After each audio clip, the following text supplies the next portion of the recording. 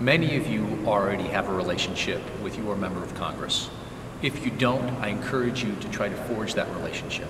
It just begins with a conversation, talking about how you employ people in their district and wanting to get to know more about what their priorities are. Oftentimes, members of Congress want to know what is it that's impeding you from growing jobs and doing what you do best.